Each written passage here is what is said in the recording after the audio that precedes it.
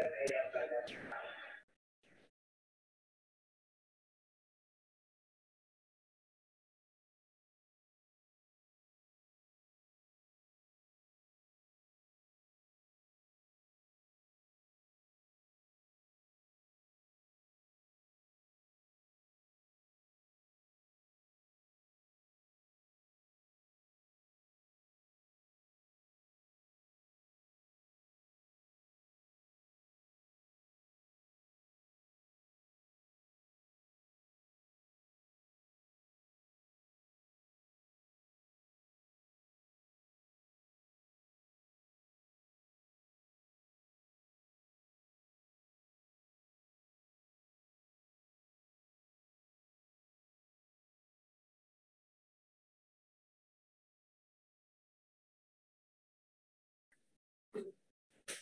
Bismillahirrahmanirrahim. Assalamualaikum warahmatullahi wabarakatuh.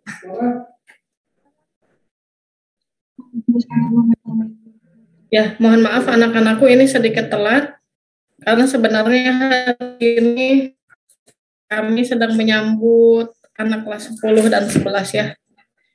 Dan ini agak sedikit lambat juga koneksi di mesnya. Jadi tolong diingatkan nanti saya harus lebih dari 8 menit ya kan selesai nanti setengah tiga lebih delapan menit. Baik untuk materi kali ini,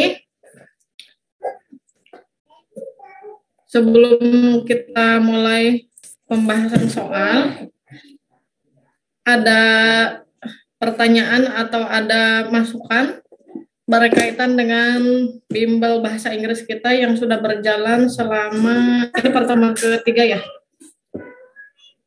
selama dua minggu ini ada mas atau saya boleh tanya apakah kalian selama ini nyaman belajar bahasa Inggris dengan saya? Tolong direspon, kameranya dinyalakan ya. Jadi biar kita evaluasi sambil berjalan gitu.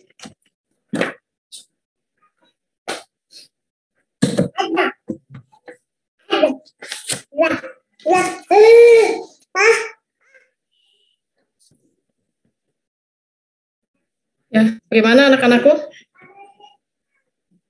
Ini yang aktif, Farid, bisa wakili teman-temannya? Adakah masukan dari Farid atau dari teman-teman yang lain?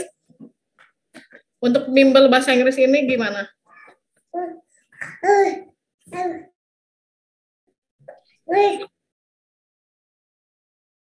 Lancar. Bisa difahami? Bisa, oke. Okay. Ya, baik. Terima kasih Farid. Yang lainnya? Ada yang mau disampaikan terlebih dahulu, tidak? Alhamdulillah nyaman dan cukup efektif, Ustazah. Arif, kenapa bisa bilang efektif?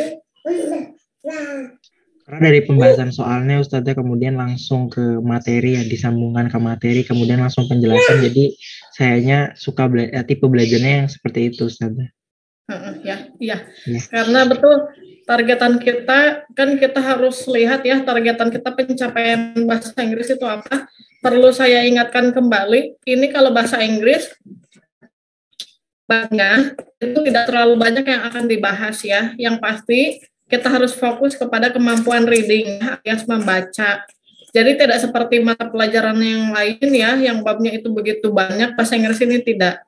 Tapi kuncinya dengan sedikit bab kita ini harus sering latihan soal ya. Tipe soalnya akan terus seperti itu gitu. Mau tidak mau, suka tidak suka, soalnya akan seperti itu ya. Dan yang sudah kita bahas minggu kemarin ada konsepnya reading comprehension yang sudah saya share ke kalian. Nah itu, jadi kuncinya itu ya, reading, scanning, skimming, inference dan segala macam. Tinggal kita sekarang efektifkan waktu untuk latihan soal ya. Baik, terima kasih Arif. Hari ini kita akan lanjutkan saja ke pembahasan soal yang sebelumnya yang belum tuntas ya. Minggu kemarin baru selesai sampai nomor berapa? Coba saya cek dulu. Kemarin kalau tidak salah baru sempat dibahas sampai nomor 27 ya. Yang tentang sustainable health kalau tidak salah. Ya,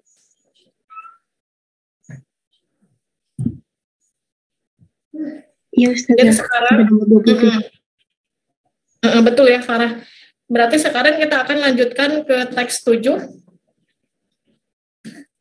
Kalau bisa nanti ini dari 28 sampai nomor 35. Nanti sisanya boleh kalau ada yang mau request materi apa boleh atau misalnya punya soal seperti apa cara penyelesaiannya nanti kita bahas bersama ya.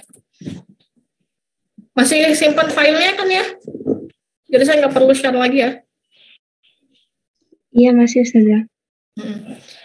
Baik saya kasih waktu itu berarti berapa soal? Nggak nyampe 10 soal ya? Kurang dari 10 soal, semoga kalian bisa mengerjakan dalam waktu 10 menit.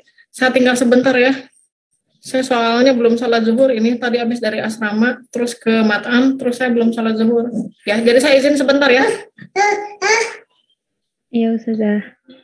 Oke.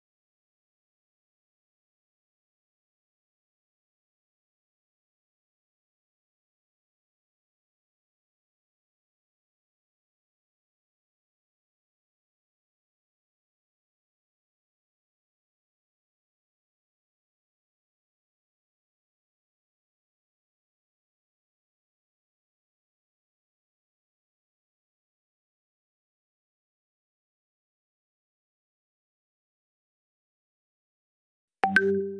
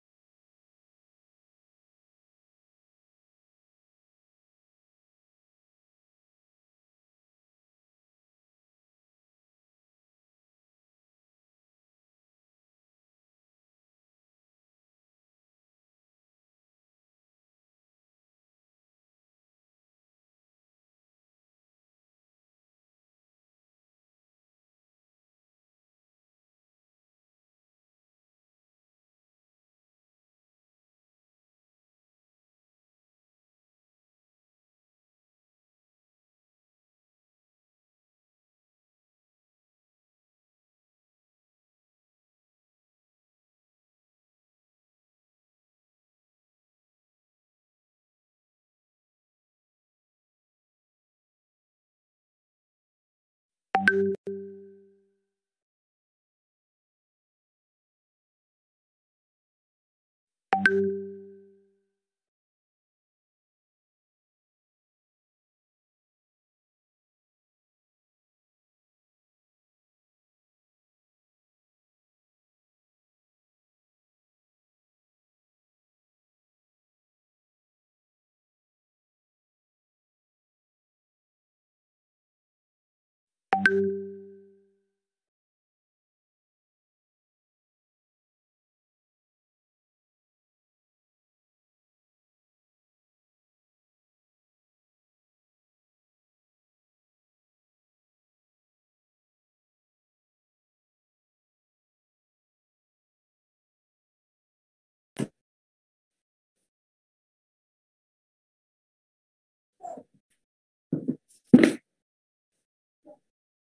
Baik, sudah sampai nomor berapa?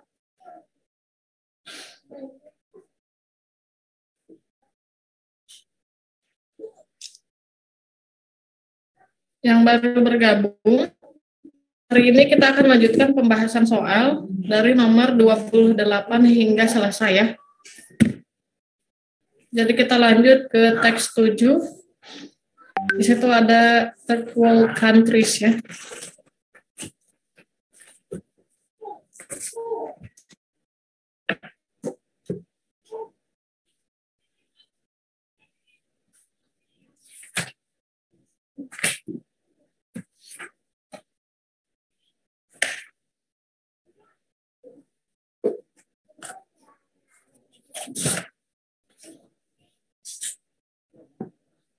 Ada yang sudah selesai jawab?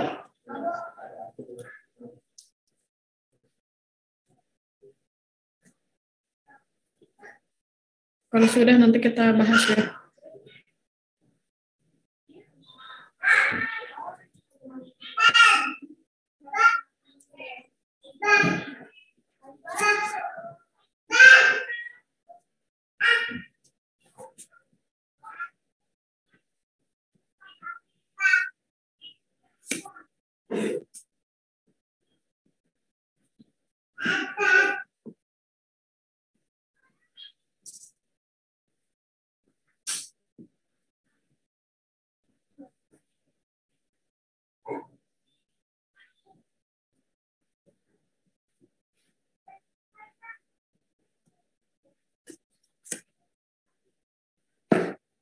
Bisa kita mulai pembahasannya?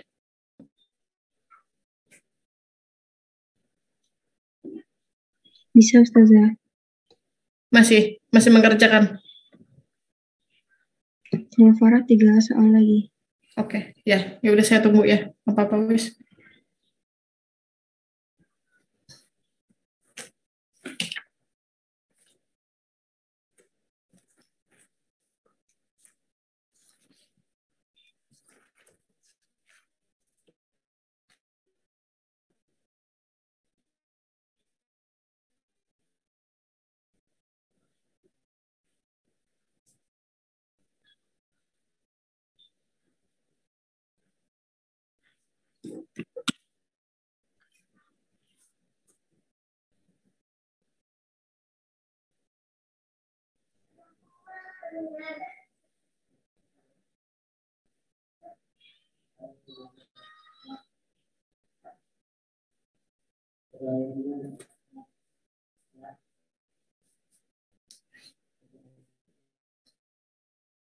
Yeah.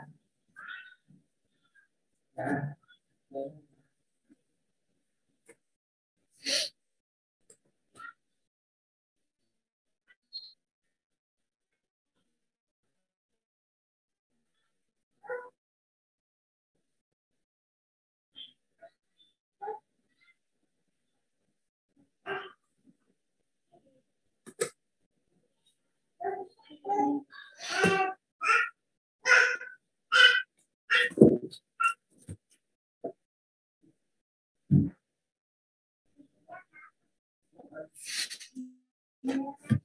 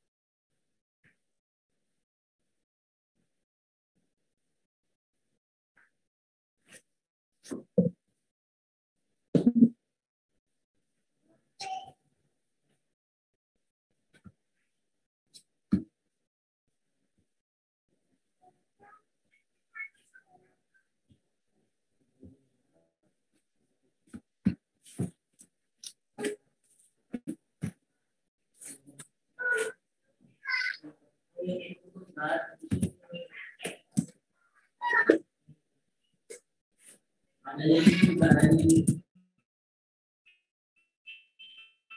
you.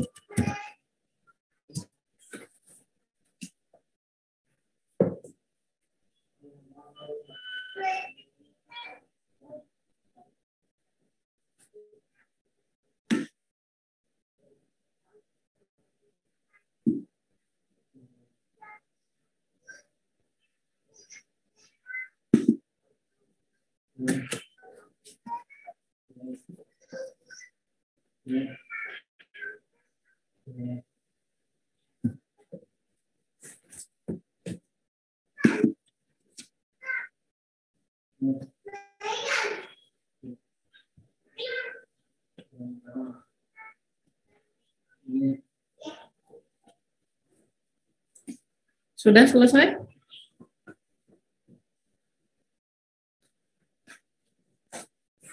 Kita mulai bahas ya.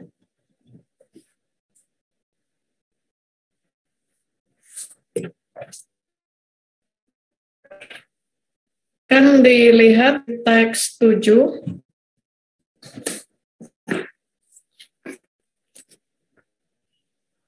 Soal pertama di situ ada yang ditanyakan ada seperti biasa kita baca.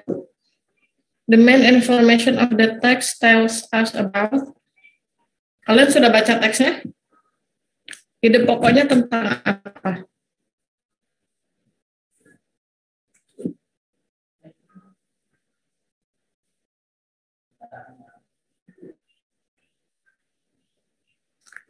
Yuk dinyalakan kameranya ya, biar saya bisa lihat.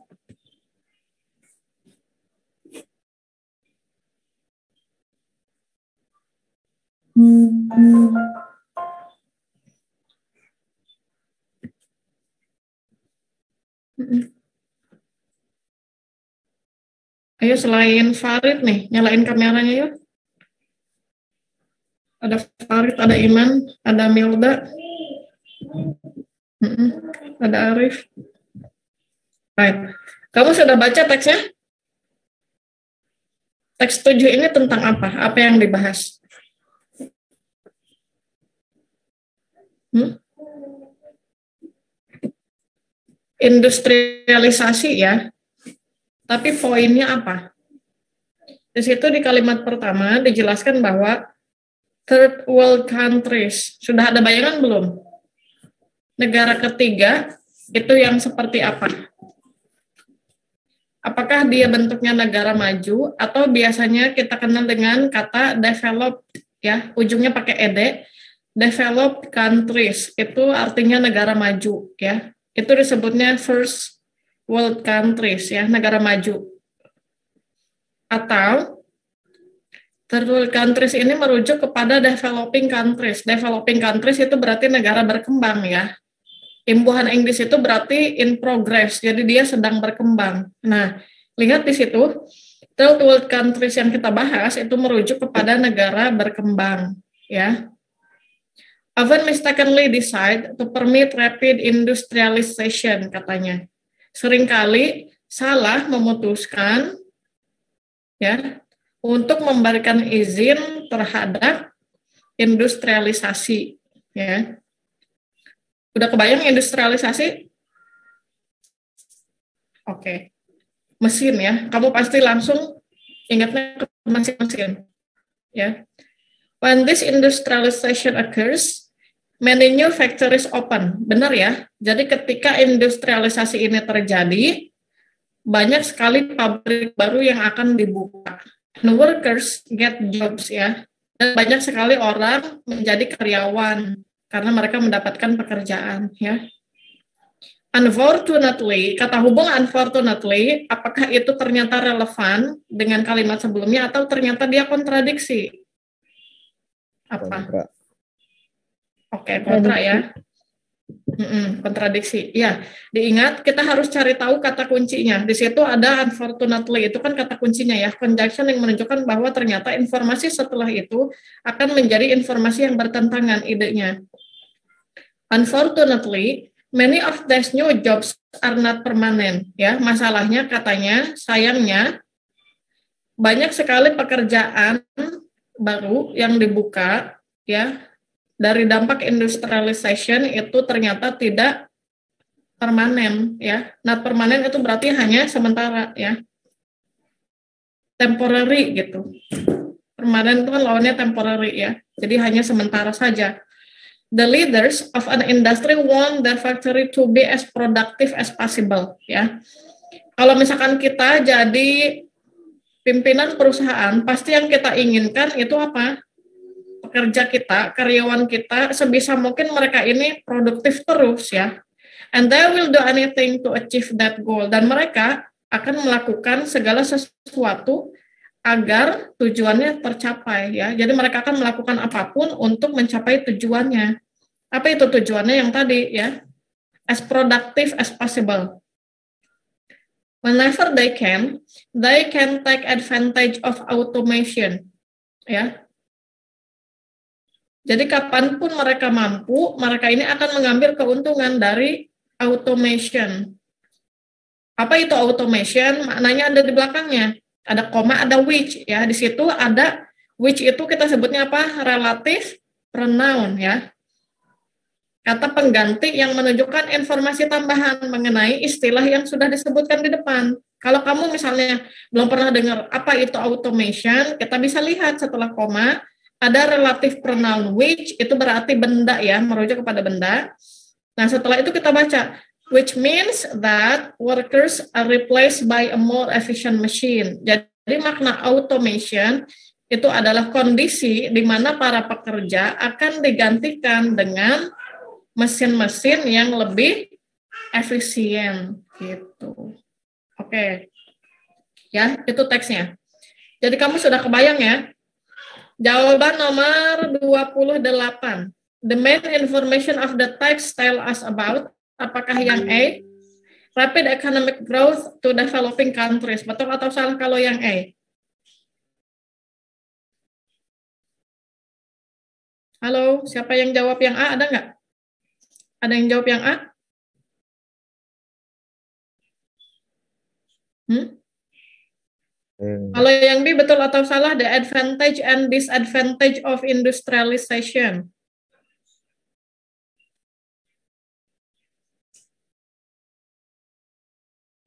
Gimana? Jawabannya B. Yang jawab B siapa? Saya. Oke, Alif. Alif jawabannya B. Farid juga B. Boleh tahu kenapa?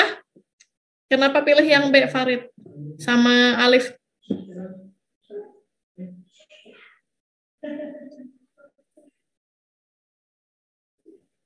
Hmm.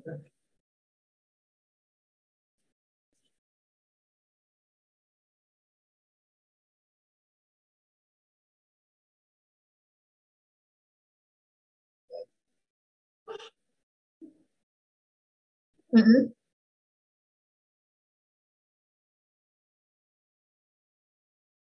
Oke, good. Ya. Jadi intinya yang di advantage-nya itu ada di kalimat keberapa tadi disebutkan second sentence ya. Right. In the second sentence you can find the advantage ya. Jadi keuntungannya itu ada di kalimat awal ya. Di kalimat yang kedua. Sedangkan yang tadi kontradiksi disadvantage-nya itu setelah conjunction unfortunately. Jadi secara umum inti yang dibahas di teks itu tentang industrialization itu apanya? Keuntungan dan kerugiannya ya. Jadi jawabannya betul yang B. Right, good job. Next, lanjut. Sekarang yang kita mau cari tahu adalah the following sentences is the best concluding sentence for the text. Berarti kita nyari concluding sentence ya, kalimat penutup yang berisi tentang kesimpulan ya. Caranya gimana? Caranya ini kita harus hubungkan dengan kalimat sebelumnya ya. Kalimat sebelumnya yang dibahas itu tentang apa? Whenever they can, they can take advantage of automation, which means that workers are replaced by a more efficient machine. Ya, titik sampai situ. Kita lanjutkan kalimatnya dengan memberikan concluding sentence. Yang tepat yang mana? D. Kalau lihat dari conjunction, semuanya sudah betul ya. Nah, tinggal kita lanjutkan kalimat setelah conjunctionnya. Yang mana yang tepat? D, Ustazah. Yang mana Hasna? D. Oke, okay, good ya. Karena kalimat sebelumnya membahas automation, maka concluding sentence-nya akan berkaitan dengan kalimat yang itu ya. Jadi kan kuncinya automation. Kalau yang A, itu kan dia bilang industrialization can boost, mak makna dari boost paham ya? Mendorong ya. Jadi kalau yang A katanya industrialization can boost third world countries economic growth ya. Itu jadi sense-nya positif. Dia bisa katanya mendorong pertumbuhan ekonomi di negara berkembang ya. Sedangkan di sini yang dibahas ternyata disadvantage-nya jangan itu bertentangan. Kalau ini kita nggak ngomongin gets new jobs lagi ya, karena itu sudah dibahas di awal dan ini sudah ke poin yang lain. Jadi yang B juga tidak tidak benar, tidak tepat gitu. Lihat yang C, therefore there is an increase in employee standard of living. Kita ngomongin standard of living juga ya. Jadi itu nggak berkaitan. Yang betul karena itu tadi automation kata kuncinya ya. Kenapa bisa ke unemployment? Karena itu tadi mesinnya akan menggantikan tenaga manusia ya. Terus kalau yang I itu juga salah karena itu kontradiksi ya katanya industrialis better share their profit with employees ya. Mana ada kan? Leader of an industry mau share profit yang sebegitu besar dengan employees ya. Itu di dunia nyata itu tidak akan terjadi ya. Karena mereka hanya mencari untung untuk sendirinya untuk industrinya saja gitu. Jadi kalau karyawannya tadi itu sebisa mungkin mereka harus as productive as possible kerja terus gitu tanpa kenal capek ya apa namanya harus bekerja terus menerus tanpa mengenal lelah makanya yang cocok itu kalau industri sebenarnya mesin cuman masalahnya di satu sisi efektif di satu sisi itu menambah tingkat unemployment ya pengangguran gitu clear ya lanjut ke teks berikutnya oke okay. teks yang berikutnya. Ini kalau kamu mau tahu, ini soal seperti ini saya ambil dari soal SIMAK UI tahun 2009 ya. Jadi kalau sekarang masih ada soal SIMAK UI nggak sih? Ada jalur SIMAK gitu apa enggak? Ada yang tahu? Enggak ada. Masih kayaknya, Miss. Masih, iya. Jadi kalau kamu mau ikutan SIMAK UI dan segala macam itu soalnya sama. Model-modelnya seperti ini gitu ya. Teksnya sama seperti ini. Yuk lanjut ke teks berikutnya. Ini udah dibaca juga tentang sleep. Ya, kita akan membahas tentang tidur. Ngebahas tidur, tapi kalian jangan tidur ya, mentang-mentang ini jam tidur siang, nanti all of you are taking a nap ya, terus saya ditinggalin gitu sendiri. Makanya tolong dinyalakan kameranya ya. Ini jam-jam rawan. Padahal suara saya nggak merdu ya. Ini tapi diam-diam aja nih, mana? Coba dinyalakan kameranya, ayo. Selain Farid, ini Farid doang, ini yang menyalain kamera. Ayolah, yang perempuan, yang laki-laki juga wajib ya. Ayo kita lanjutkan, atau gantian deh, teks yang berikutnya ini siapa yang baca coba. Satu orang satu paragraf ya. Saya tunjuk acak aja deh. Coba saya mau dengar suaranya Darel. Halo Darel.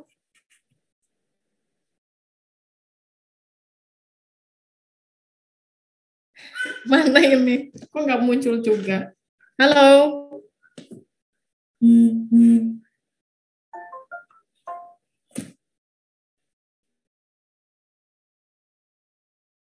Eh, ke mana? Coba Arifin deh, Arifin. Arifin ada?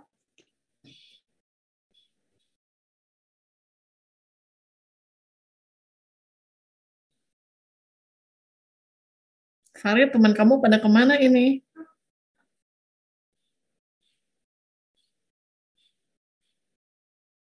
Farah aja deh yang baca. Farah, paragraf satu, nanti paragraf duanya saya cari yang lain. Thank you, Sarah. In studying the phenomenon usually referred to as sleep, we are actually dealing with more than one phenomenon. In point of fact, we spend the night alternating between two different types of sleep, each with the different brain mechanism and different purposes. Oke, thank you Farah. Ya, itu paragraf satu kita bahas dulu ya. Lihat di situ ada kata phenomenon. Phenomenon itu singular ya. Jadi bentuknya bukan ada beberapa fenomena, tapi phenomenon itu bentuk singular. Kalau misalkan teks yang disebutkan in studying the phenomena, itu berarti banyak yang mau kita bahas ya. Ini satu doang, fenomena yang berkaitan dengan kondisi tidur ya. Di situ di teks yang tadi Farah sudah bacakan ya, teman-teman yang lain sambil disimak. Di situ bahwa we are actually dealing with more than one phenomenon. Oh sorry, phenomenon itu yang plural, bentuk singularnya fenomena ya. Jadi fenomenanya itu banyak. Jadi nggak semua kata benda ketika dia bentuknya plural itu ditambahkan s di belakang ya. Kayak contohnya ini, fenomena itu dia bentuk jamak dari fenomena gitu. Ya, ini untuk selingan gitu. Ada juga kata benda yang ujungnya pakai bentuk is di belakang, tapi ternyata dia merujuk ke bendanya satu. Apakah itu? Ada yang bisa kasih contoh? Dia bentuknya singular, tapi di ending ada is-nya ada imbuhan yang menunjukkan kalau benda yang lain itu hitungannya jamak gitu. Apa? Pernah dengar nggak?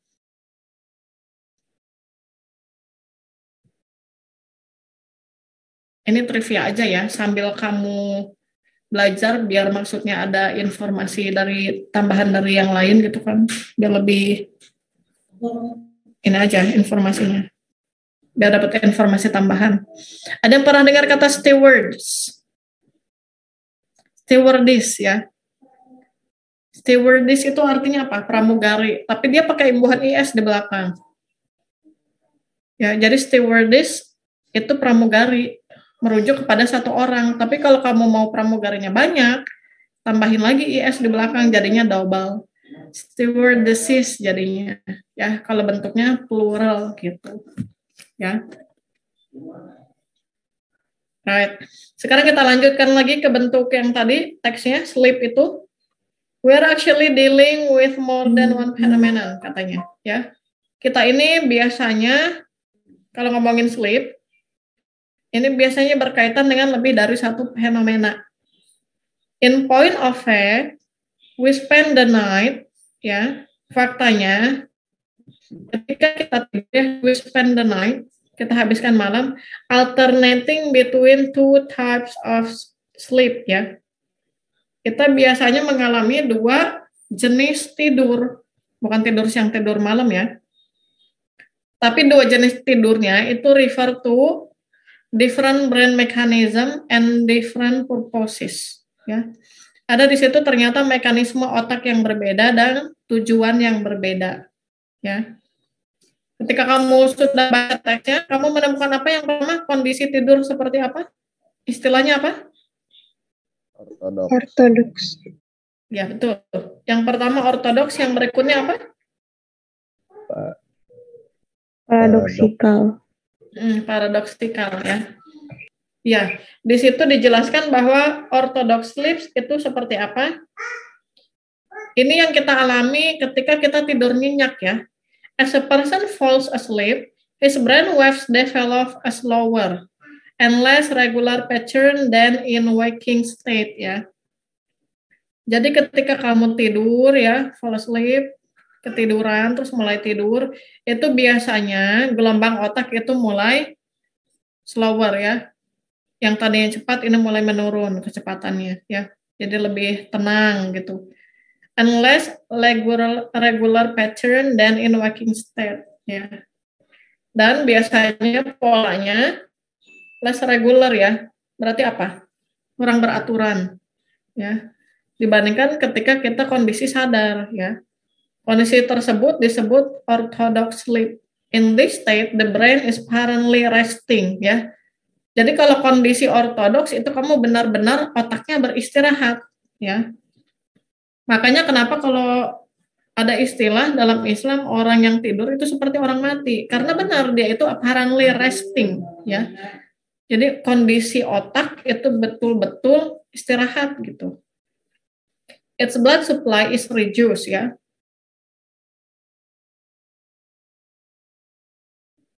And its temperature falls slightly. Ya. Blood supply artinya tahu? Hmm?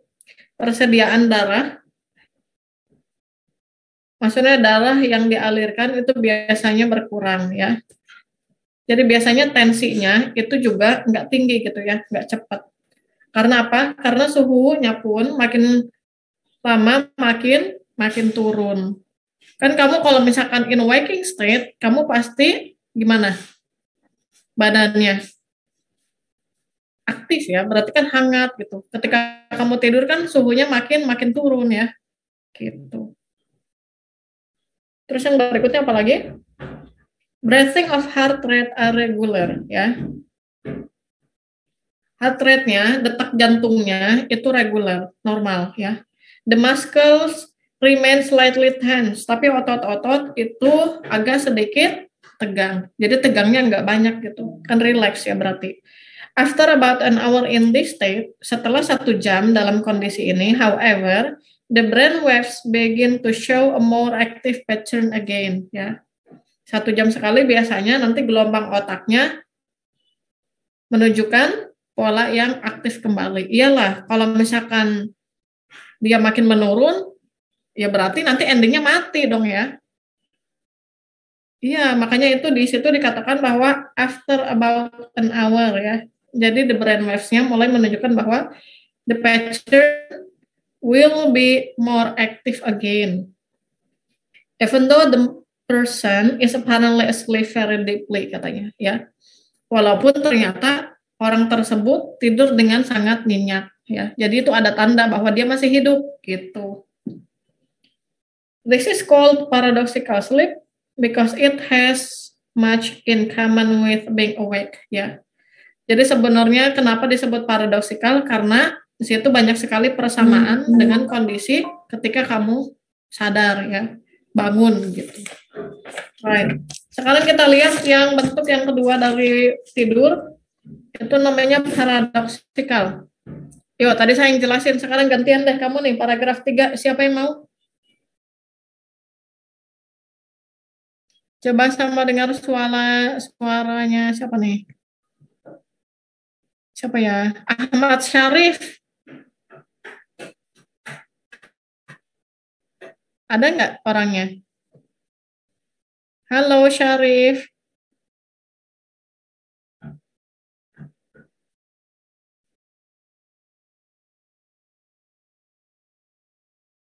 Nggak ada? Ini yang join, ada atau enggak ya? Seabsen nih, Syarif ada enggak?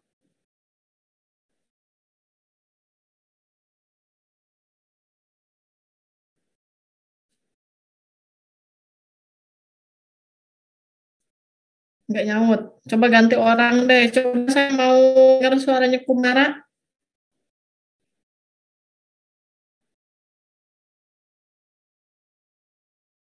Farid, mana temennya ini?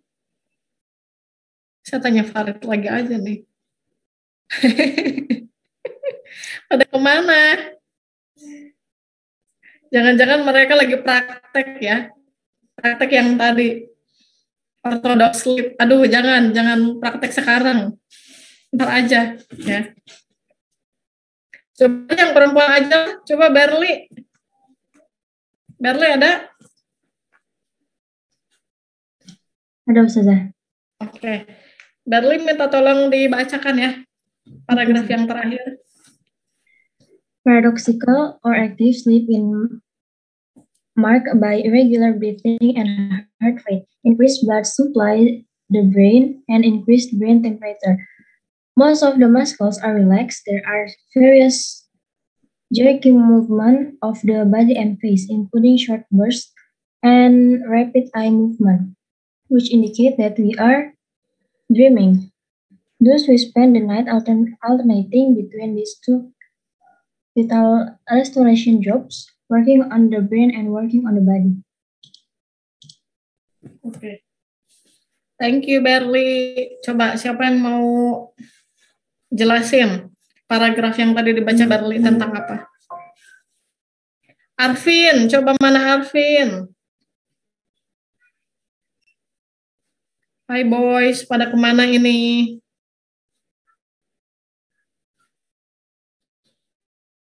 Alvin. Alif aja deh, kalau Arvin yang nggak mau. Alif? Halo. Are you still there? Oh, ada tuh Alif mah. Alif, bisa minta tolong jelasin tadi teks eh teks tiga paragraf ketiga yang udah dibacain Berli Alif juga udah baca pasti. Tadi kalimat satu ya? Yang paradoksikal, coba.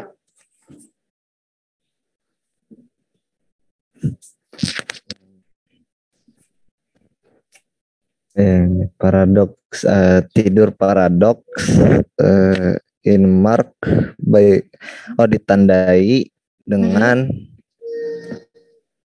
irregular breathing berarti uh, pernafasan yang tidak normal ya. Mm-hmm.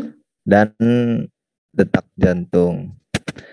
Lalu eh, meningkatnya itu meningkatnya tekanan darah mm-hmm.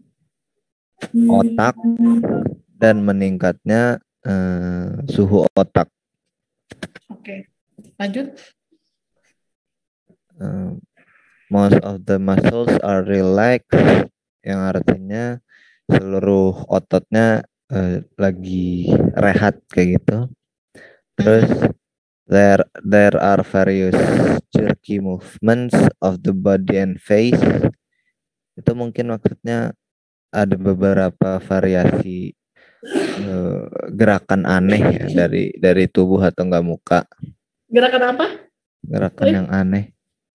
Mungkin circle movement. Jerky movement itu gerakan yang tiba-tiba ya, Oh ya, yang Ya. sentak ya, ya ya. efek dari mimpi biasanya. Oke. Ya. Hmm, Lanjut. Terus including short burst of rapid eye movement. Eh, ini apa ya? Mm-mm. Short burst of rapid eye. Kamu pernah dengar burst of tears nggak? Enggak. Meneteskan apa? Meneteskan air mata gitu.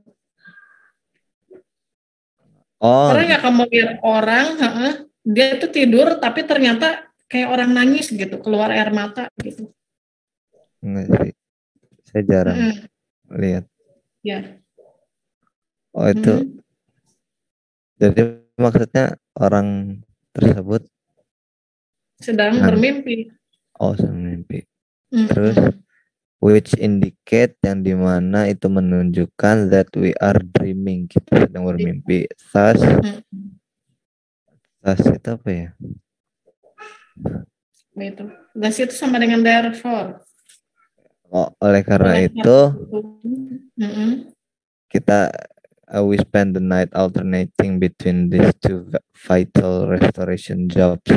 Eh, oleh karena itu kita eh apa ya? We spend kita menghabiskan eh saat semalaman Mm-mm. alternating alternating Apa well. alternatif? apa ya? Alternate itu apa? Alternatif. Alter itu menukar. Apa ya kalau bahasa ininya? Alter itu jadi berganti gitu. Oh, pergantian. Oh, pergantian di antara dua apa? Dua Mhm. kondisi, dua kondisi vital ini.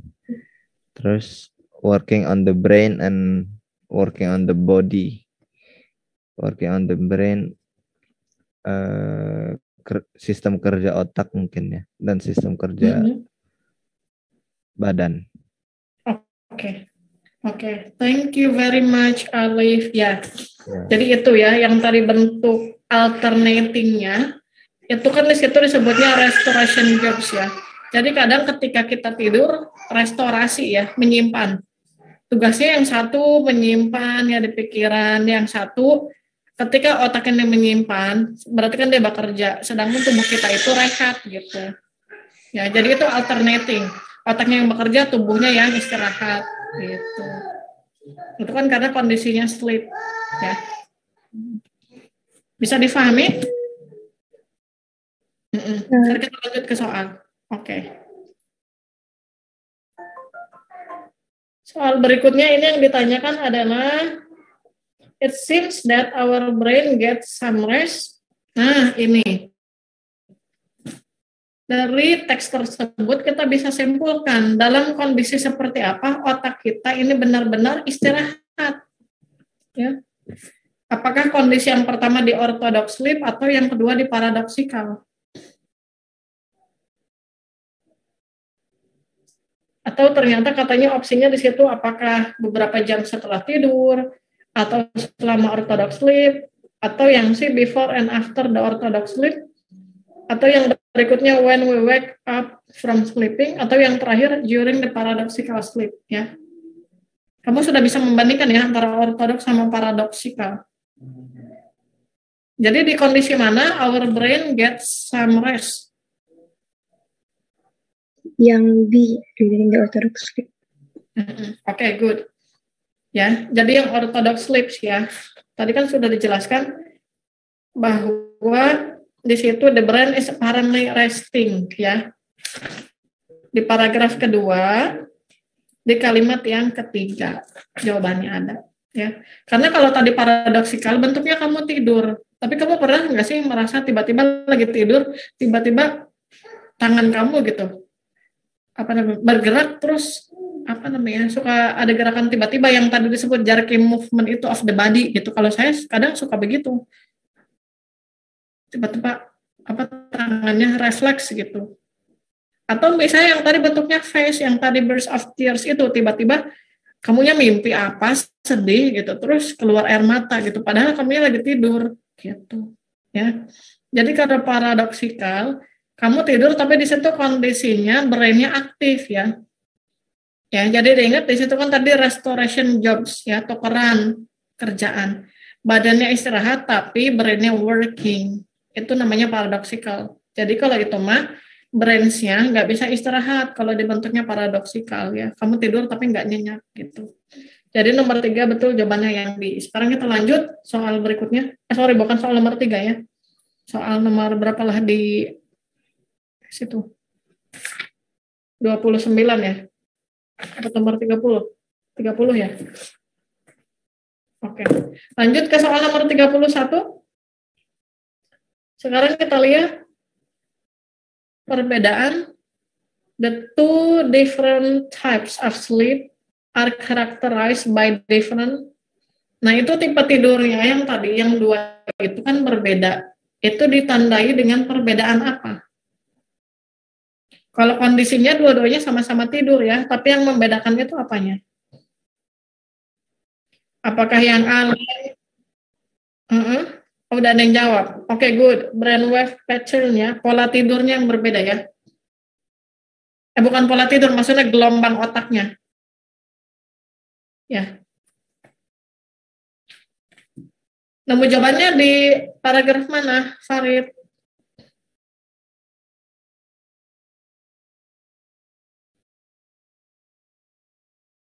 second paragraph, oke, okay. yang mana?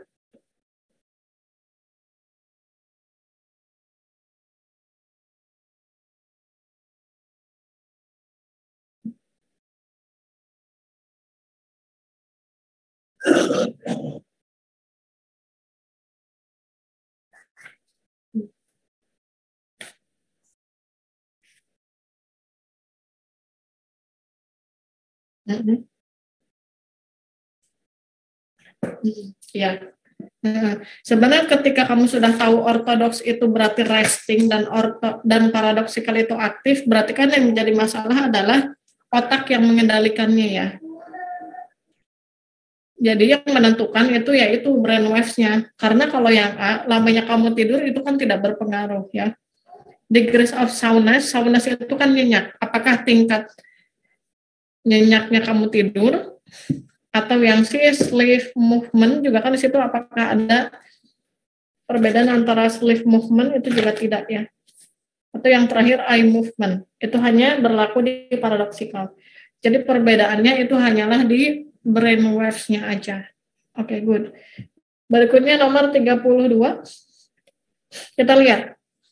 Ciri-ciri dari orthodox sleep, except, kecuali.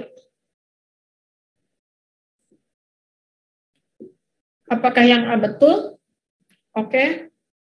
Ini Farid. Farid lagi yang jawab ya. Selain Farid dong, ayo. Ya, Ustazah. Hmm, Hasna apa? C. Yang C juga. Iya. Kenapa yang C? Karena yang opsi A, B, D, E itu udah dijelasin di paragraf 2 yang lagi ngomongin orthodox sleep. Terus yang D itu kan reduce supply of oxygen to the brain kan sebenarnya nggak ada di paragraf ya Ustazah. Di situ tapi bisa sinonim sama um, yang its blood supply is reduced Kan berarti kan otomatis kalau misalnya darahnya berkurang, oksigen yang disalurkan juga berkurang. Iya. Hmm, Sebenarnya gampangnya, yang jerky body movement itu tadi sudah kita di paradoksikal ya. Jadi makanya kenapa yang jerky body movement itu salah karena dia bukan tipe dari orthodox sleep ya.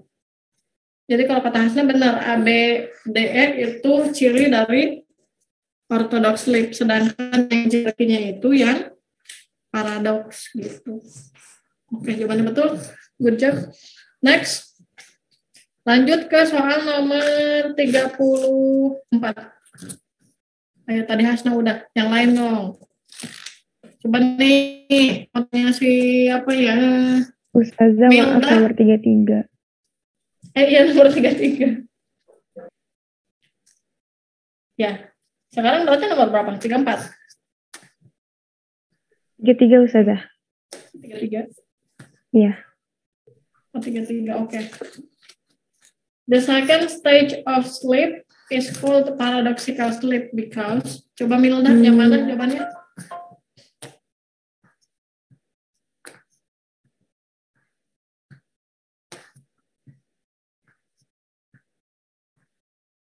Tingkatan tidur yang kedua kan yang tadi ya setelah kita resting terus kira tiba-tiba yang bukan tiba-tiba maksudnya setelah satu jam kita tidur biasanya itu nanti lanjut ke second stage-nya itu.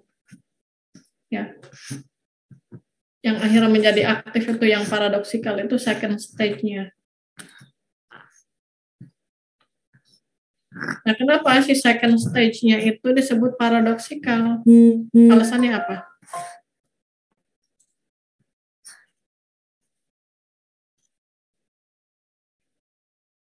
Jawaban yang A betul atau salah? It becomes after the orthodox phase of sleeping. Sleeping.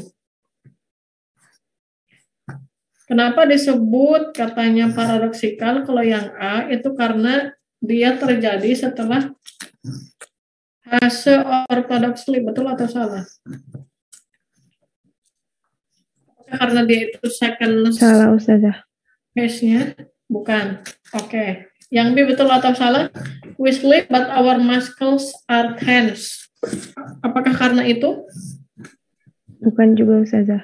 Bukan karena ototnya tegang ya. Oke, good. Nomor eh opsi yang berikutnya is totally different from orthodox sleep. Apakah karena si paradoks ini berbeda dengan orthodox sleep? Makanya kenapa menjadi second stage? Hmm? Enggak Ustazah. Enggak juga. Apakah yang di we only dream because eh, we only dream during this phase of sleeping? Apakah karena kita itu bermimpi selama fase tidur? Fase paradoksikal? Enggak. Berarti yang mana jawabannya? Yang E.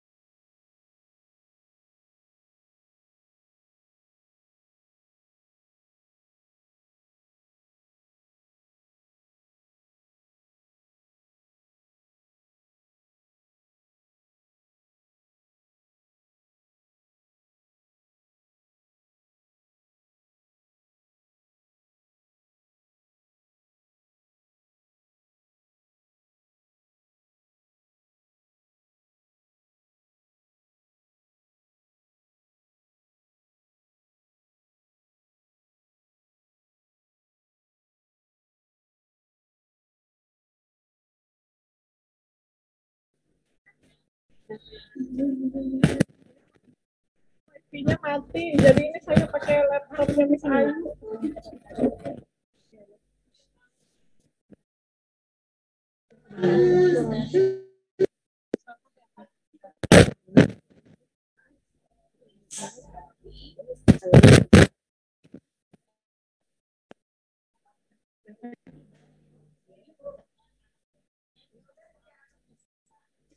Lanjut ya ke soal nomor 33 ya.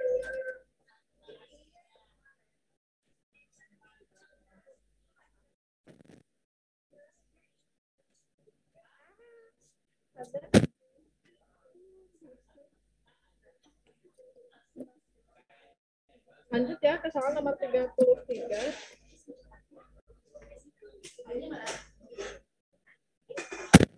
Apa jawabannya? Dari pertanyaan of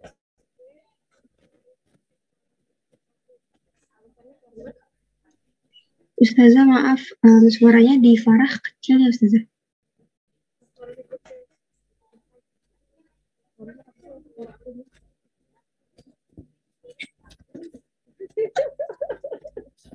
gimana ini?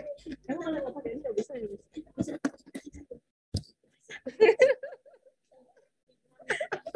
Ini kan suaranya masih Aduh.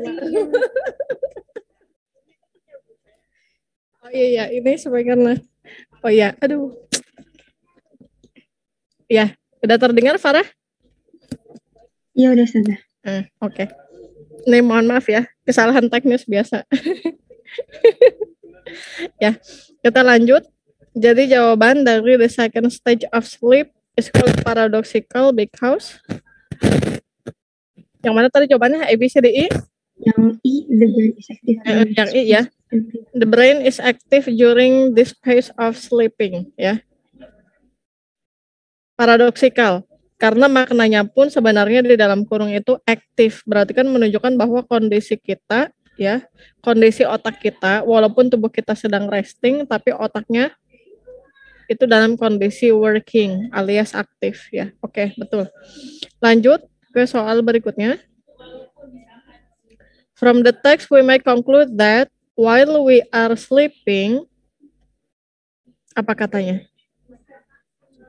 Ini namanya inference ya, jadi cari pernyataan yang betul berdasarkan teksnya.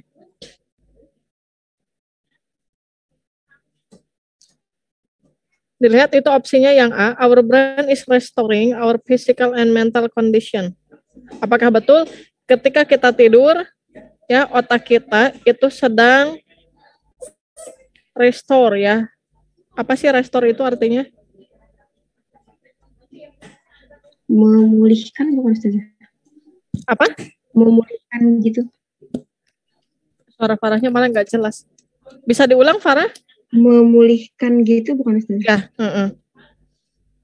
Ya, jadi otak kita itu sedang memulihkan kondisi fisik dan mental. Betul atau salah? Itu di fase ortodoks doang, kalau di paradoks enggak. Mm-mm. Berarti jawabannya betul atau salah yang A? Salah. Salah? Jawaban Farah apa? Kalau Iya sih Ustazah ini agak bingung gitu soalnya hampir bener-bener nyaru mirip semua. Tapi kalau Farah yang yang C sih Ustazah. Tapi yang B bener juga kalau misalnya dia kasusnya ortodoks, eh paradoks. Kalau yang Mm, kalau ortodoks. mm-mm. Pertanyaannya yang ditanyakan bukan di fase ortodoks atau di fase paradoks ya, tapi kesimpulan di dalam kondisi kita tidurnya, entah itu ortodoks, entah itu paradoks gitu. Jadi pertanya pernyataan yang tepat dalam kondisi dua yang tadi itu. Mau kita tidur bentuknya ortodoks atau paradoks, mana pernyataan yang betul. Jadi harus yang berkaitan kedua-duanya, mana yang betul.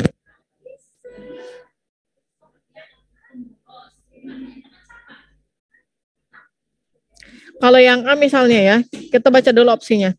Kalau yang A katanya tadi otak kita itu dalam proses memulihkan kondisi fisik dan mental. Kalau yang B kita baca lagi, we can really be as active as when we are awake. Betul atau salah? Ketika kita tidur, kita bisa seaktif ketika kita sedang kondisi bangun. Enggak Ustazah. Enggak ya? Maksudnya walaupun di kalimat yang di paragraf 2, di kalimat terakhir, this is called paradoxical sleep because it has much in common with being awake. Tapi tidak berarti kita bisa melakukan segalanya ketika kita itu bangun ya. Jadi nggak semua kegiatan ketika kita terbangun bisa kita lakukan ketika kita tidur gitu kan. Berarti yang bisa salah katanya. Coba kalau yang C, the tense muscles are caused by changing phase of sleep. Apakah ternyata otot yang tegang itu akibat dari pergantian fase tidur? Misalnya kan tadi fase tidur yang pertama, setelah kita tertidur kan masuknya ke ortodoks dulu ya. Setelah itu kan satu jam kemudian kita kan mengalami fase yang lain. Apakah ternyata setelah itu otot kita menegang karena pola tidur kita yang berubah, fase tidurnya berubah. Betul atau salah kalau yang C? Hmm?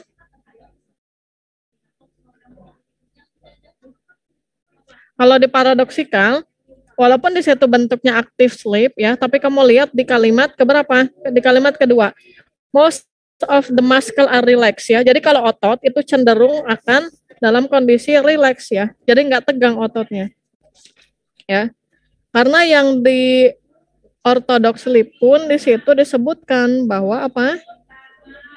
Tadi ada sebut ada kalimat the muscle remains slightly tense ya. Jadi tegangnya hanya sedikit karena makin lama itu makin menurun tingkat ketegangan ototnya, otaknya yang tadinya dia aktif lama-lama makin menurun gitu kan. Berarti the tense muscle itu bukan akibat dari pergantian fase tidur. Apakah yang di orthodox sleep is more important than paradoxical sleep? Ada nggak perbandingan di mana salah satunya menjadi lebih penting daripada yang lain? Ada nggak? Di teks saya disebutkan saja. Nggak ada ya? Oke, okay, good. Apakah yang I, irregular heart rate while sleeping is due to bad dreams? Ya, detak jantung yang tidak teratur itu akibat katanya kita mimpi buruk. Betul atau salah, Rif? Salah, Ustazah. Di sini salah. disebutkan kalau mimpi aja detak jantungnya berubah, bukan mimpi uh, buruk. Iya, betul. Ya, itu mah bukan karena mengalami mimpi buruk ya. Mm -mm. Jadi jawaban yang betul yang mana? Yang A, Ustazah. Mm -mm, yang A, iya. Jadi tidur bentuknya mau mau ortodoks mau paradoks itu dua-duanya sedang restoring ya. Jadi dua-duanya tetap betul karena walaupun misalnya yang tadi paradoks bentuknya lebih aktif daripada yang ortodoks itu dua-duanya tetap poinnya adalah restoring physical and mental condition gitu. Oke, okay, jelas? Taza mau bertanya. Silakan Hasna. Itu kenapa uh, di situ dicantumin mental condition juga soalnya di teks itu nggak disebutin tentang mental mental gitu. Nggak ada tentang mental condition ya? Iya. Terus coba kita cari ada kata mental muncul nggak di situ? ada ini ditarik tarik headsetnya bisa betul. Ada yang bisa bantu nggak? Terus saya sambil baca sambil ini.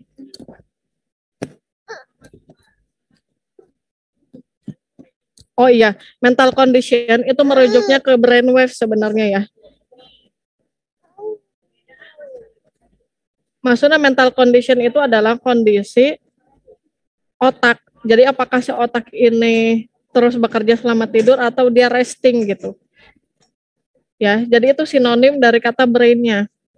Ya, karena kalau di teks di kalimat terakhir di paragraf ketiga working on the brain and working on the body. Working on the brainnya itu merujuk ke mental conditionnya, sedangkan working on the body itu merujuk ke physical condition gitu. Ya, Hasna, jelas nggak? Jelas Ustazah. Makasih Ustazah. Ya, uh, Jadi kadang ketika di teks itu kalimatnya apa, ketika di opsi itu diganti dengan yang lain. Tapi kita harus harus jeli ya nyari tahu ini sebenarnya poinnya sama atau tidak gitu. Kadang dia pakai kalimat lain untuk menunjukkan bahwa ternyata sebenarnya intinya sama gitu. Oke, nggak apa-apa. Good. Good question ya. Jadi biar lebih jelas, diingat physical sama mental conditionnya merujuk kepada working on the brain and working on the body itu. Masih ada soal lain yang belum dijawab ya? Apa sudah selesai ini pertanyaannya? Uh, Ustazah, Satu uh, Arif Fadil izin bertanya. Ya, Rif. Kenapa, Rif? Iya, kalau untuk pertanyaan uh, jenisnya yang the text may conclude gitu, berarti uh, jawaban yang benarnya itu belum tentu ada di teks, tapi dijelaskan secara tersirat, begitu ya Ustazah ya? Hmm, Iya, itu kalau di reading comprehension yang saya sudah share itu materinya itu disebutnya inference ya. Inference. Jadi kita harus drawing the conclusion tapi itu tidak diter, apa tidak dituliskan secara gamblang gitu di teksnya. Jadi tersirat betul, eksplisit gitu. Ya. Oh, ya, Jadi kita baik. harus drawing conclusion dari evidence. Kan kemarin kuncinya inference itu harus merujuk kepada evidence ya. Misalnya yang A betul atau salah opsinya misalnya. Kita lihat di situ ada nggak evidence yang menunjukkan bahwa itu restoring restoring our physical and mental condition. Ternyata di kalimat yang di teks itu kan di situ ada kata restoration jobs ya. Tapi kalimat setelahnya diganti. Jadi kan nggak sama persis tuh ya. Jadi itu inference. Kita harus nyari bukti di mana kalimat yang di opsi itu disebutkan gitu di teksnya walaupun dia menggunakan kalimat yang lain gitu. Ya, Rif, bisa difahami nggak Rif? Ya, baik. Bisa difahami Ustazah. Oke, Terima kasih Ustazah. Nanti dibaca lagi materinya ya, yang reading comprehensionnya. Di situ kan Ya. ada cara nyari jawabannya gitu. Ya, Caranya baik, gimana? Mm-mm, tipe pertanyaannya seperti apa? Oke.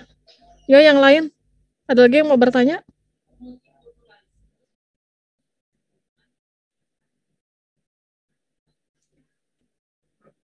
Soalnya sudah selesai semua apa belum ini? Satu Iya, lagi tuh yang apa? Nomor 35. Nomor 35 itu soalnya apa?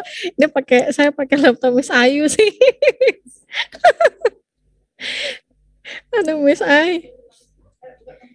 Soal terakhir itu tentang apa? Melengkapi kata di kalimat gitu Ustazah. Oke, bisa tolong bacakan saja kalimatnya? For the past, saya Ustazah. Hah? Silakan. For the past few years, last decade, the rate of crime has been high due to the increase in the rate of unemployment. Today, people wish that the local government titik-titik first priority to the solution of this problem. Oh, yang lokal inf itu. Bentar ya, bentar. Miss Ai, aku boleh minta tolong laptop laptopku.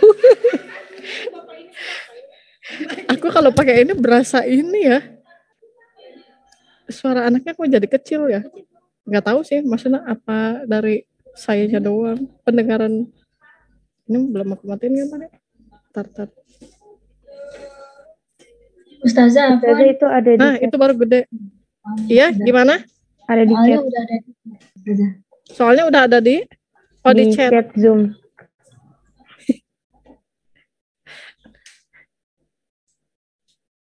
Oh, okay. For the past few years, last decade, the rate of crime increase in rate of unemployment. Jawaban yang betul yang mana?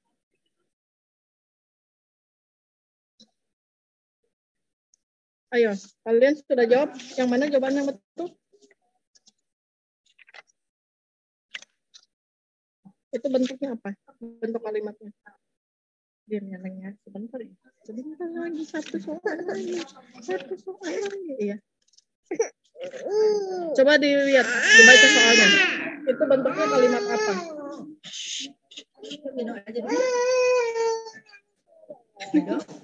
Itu tuh AA tuh, ada AA. Sebentar lagi, satu soal ya. Ron, Ron, Ron.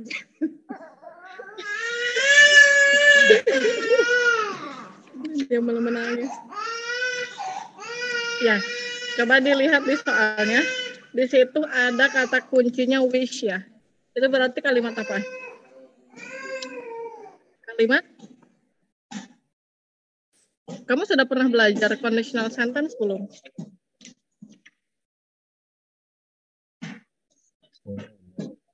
Conditional sentence sudah pernah belajar belum? Kayaknya udah. Hmm? Sudah. Seperti Itu conditional sentence tipe keberapa?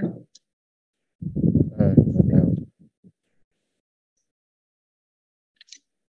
Please, suaranya nggak terdengar. Tes.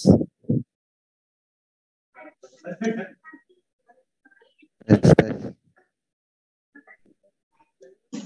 Halo, Halo.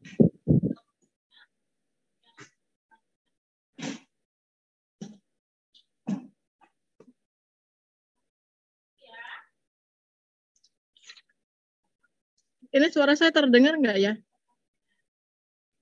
Terdengar Ustazah.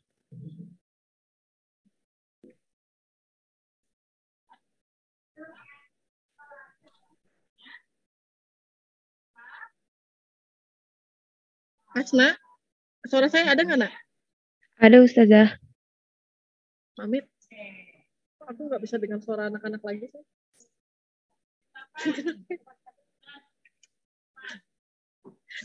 Mana sih ada nggak?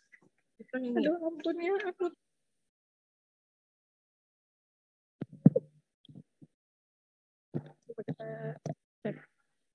Halo, suara saya ada nggak? Ada Ustazah. Nggak dengar. Aku nggak dengar suara anak-anaknya. Apa ya? Oh. Oh, ininya ini. ini. Ke sini kok aku pencet. Ya Allah, tante. Ada nggak suara saya? Ada Ustazah. Oh iya, bener mah kepencet. Oke, iya, terima kasih. Oke, kita bahas soal terakhir. Di situ ada kalimat yang kedua, kita fokus ke kalimat yang kedua. Today, people wish that the local government bla bla bla first priority to the solution of this problem. Tadi saya udah kasih tahu ya, itu ternyata kalimat pengandaian. Pengandaian tipe berapa? Ada yang tahu?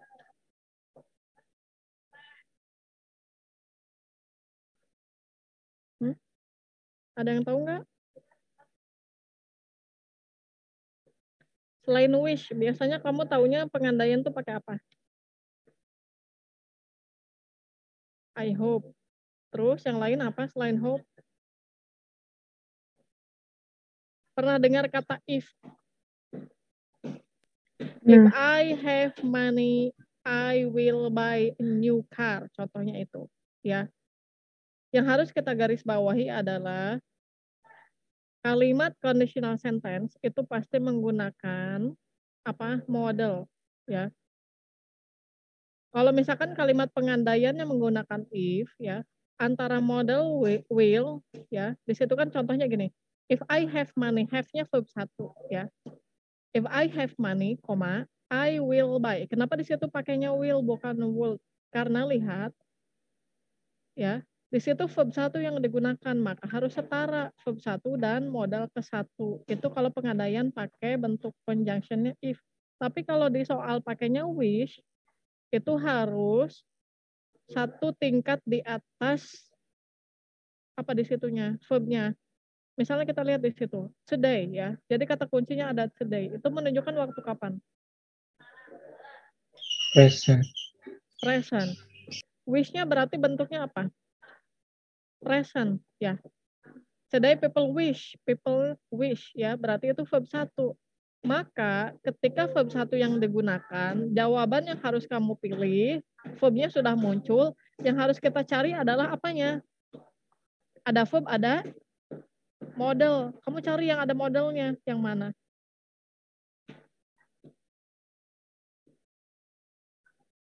Ya, diingat kalimat pengandaian itu harus menggunakan model. Bedanya antara if dan wish, Kalau if antara verb dan modal harus setara, verb satu modal satu.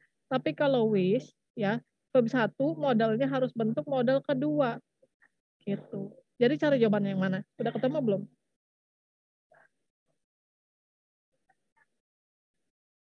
Itu bentuknya harus bertingkat ya, kalau pengandaian wish. Today people wish itu berarti bentuk present. Kamu harus cari model bentuk apa? Setelah present ada keterangan waktu apa? Apa? Ada yang bisa jawab? Future. Setelah present ada apa? Future. No. Kita nggak ngomongin future, tapi ke past tense-nya, betul. Diingat tingkatannya, pertama ada present, naik menjadi past tense, naik lagi menjadi past perfect tense ya. Jadi kalau di sini menggunakan verb satu wish, maka modalnya harus modal kedua. Berarti jawaban yang betul yang B. Would give. ayo. Antara yang B sama yang D itu modalnya sama-sama modal kedua. Kalau dari structure itu B sama D betul, tapi manakah jawaban yang lebih tepat? Yang B, Ustazah. Yang B, alasannya kenapa? Ini pendapat pribadi, Ustazah. Oke, kenapa? Kalau should itu, oh, Mm-mm. should itu kayak harus banget gitu nggak sih, Ustazah? Kayak, uh, today people wish that local government should give it. Oh, apa should ya? eh, sebentar, Ustazah. Oke, nggak apa-apa, Arif. Itu pendapatnya Arif katanya. Kalau should itu harus banget nggak sih katanya? Coba ada yang bisa jawab nggak? Enggak ya Ustazah, yang harus banget itu yang Mas. Nah, Kalau should banget, cuma anjuran. Kalau should itu apa? Should itu dari kata shall, hanya anjuran. Tapi kalau shall itu maknanya dengan will itu sama. Tapi ketika dia sudah berubah menjadi modal kedua, maka dia memberikan giving suggestion. Ya.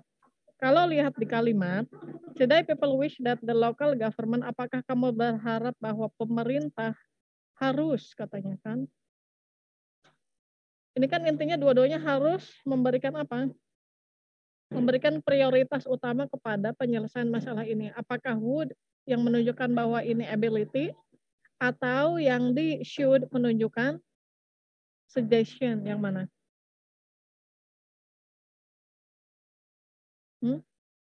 People wish. Jadi yang mana Rif jawabannya?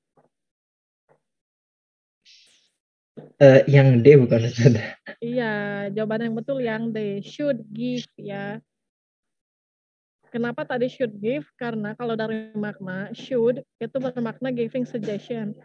Jadi sekarang masyarakat berharap bahwa pemerintah lokal itu seharusnya memberikan prioritas utama kepada permasalahan yang terjadi yang tadi itu ya, crime-nya itu kejahatan.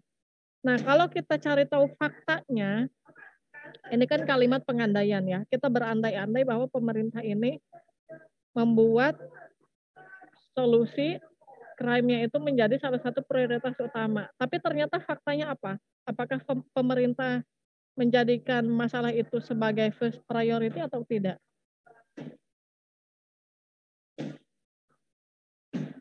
Yes or no? Ada yang tahu faktanya apa? Kalau kita ngomongin pengandaian, satu kalimat pengandaiannya, kedua kita harus paham maknanya. Makna dari kalimat today people wish that the local government should give first priority to the solution of this problem adalah ingat maknanya pasti bertentangan ya. Kalau di kalimatnya ternyata pemerintah itu menjadikan itu sebagai satu prioritas, faktanya tidak. Ya, kenapa bisa tidak? Karena lihat faktanya ada di kalimat sebelumnya. For the past few years, last decade, the rate of crime has been high. Ya, ternyata faktanya tingkat ya crime kejahatan dari tahun-tahun sebelumnya itu bertambah akibat pengangguran. Itu sampai sini bisa difahami? Bisa, Ustazah. Heeh, ya, ya, Farid gimana?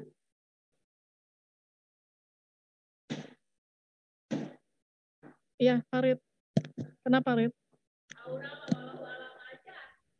Bisa. Ya. Jadi dicatat, bikin catatan untuk conditional sentence yang menggunakan kata wish ya. Ketika verbnya verb satu, maka modelnya harus bertingkat menjadi model kedua. Kalau verbnya menggunakan verb kedua, maka modelnya harus bentuk model ketiga. Model ketiga itu apa? Kalau tadinya should give, berarti model ketiganya apa? Ada yang tahu nggak bentuk model ketika dari kata should give?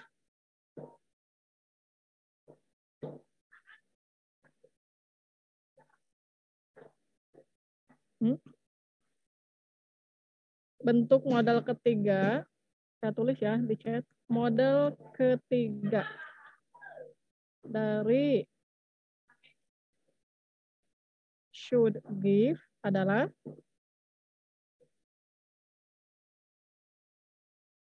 should give itu model kedua. Model ketiganya apa?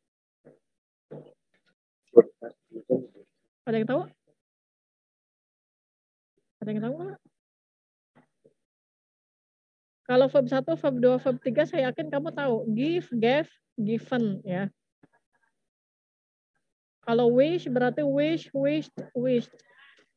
Kalau model kan dari will jadi would, dari shall jadi should. Nah, pertanyaannya dari should menjadi model ketiga itu apa nih jawabannya model ketiga dari kata should give itu adalah should have given ya jadi kamu menggunakan auxiliary di situ model auxiliary-nya berubah menjadi should have given diingat kalau modal pertama hanya satu kata ya modal kedua juga sama tapi yang berubah jadi modelnya kalau modal ketiga harus ada tiga kata karena kamu sisipkan kata have di situ. Ya. Kalau modal ketiga dari would give berarti apa? Would have, would have given, ya itu aja. Waktunya sudah habis ya. Ada pertanyaan lagi nggak? Kamu paham nggak? Conditional sentence-nya, paham?